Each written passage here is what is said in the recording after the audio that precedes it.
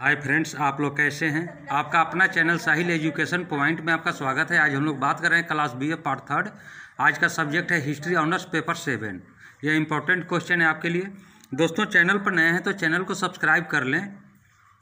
Video को अपने दोस्तों में शेयर करें, जिससे उनको भी लाभ हो। दोस्तों, हम लोग शुरू करें क्वेश्चन को। पहला क्वेश्चन है, चीन में अफीम युद्धों को कारणों की भी विवेचना करें। चीन में अफीम युद्धों के कारणों की विवेचना करें।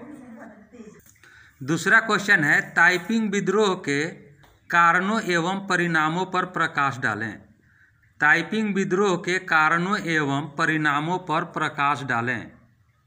तीसरा क्वेश्चन है 1911 ईस्वी के चीनी क्रांति के कारणों का वर्णन करें। 1911 ईस्वी के चीनी क्रांति के कारणों का वर्णन करें।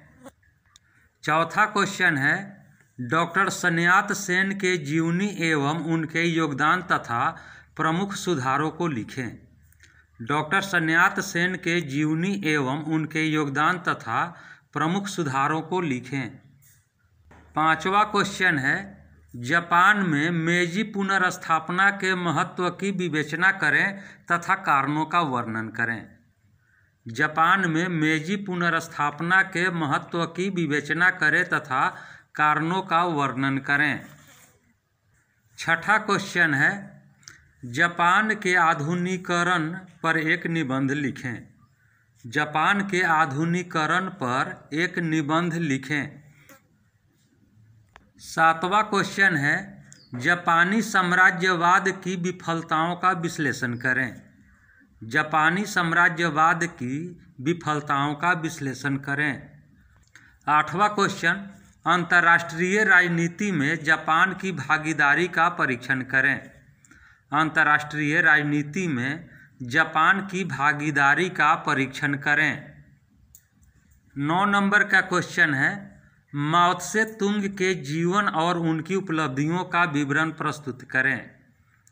माओत्से तुंग के जीवन और उनकी उपलब्धियों का विवरण प्रस्तुत करें। दसवां क्वेश्चन है, प्रथम विश्व युद्ध में जापान की भूमिका पर प्रकाश डालें। प्रथम विश्व युद्ध में जापान की भूमिका पर प्रकाश डालें तथा द्वितीय विश्व युद्ध में जापान की हार के कारणों की विवेचना करें। प्रथम विश्व युद्ध में जापान की भूमिका पर प्रकाश डालें तथा द्वितीय विश्व युद्ध में जापान के हार के कारणों की विवेचना करें। ग्यारहवा क्वेश्चन है, वाशिंगटन कॉन्फ्रेंस के विवरण प्रस्तुत करें। वाशिंगटन कॉन्फ्रेंस के विवरण प्रस्तुत करें। बारहवा क्वेश्चन है 1904 से उन्नीस पाँच ईस्वी के रूस जापान युद्ध के प्रभाव की विवेचना करें। 1904-5 ईस्वी के रूस, जापान युद्ध के प्रभाव की विवेचना करें। तेरहवा क्वेश्चन है, वाशिंगटन सभा का आयोजन किस प्रकार संभव हुआ? वाशिंगटन सभा का आयोजन किस प्रकार संभव हुआ?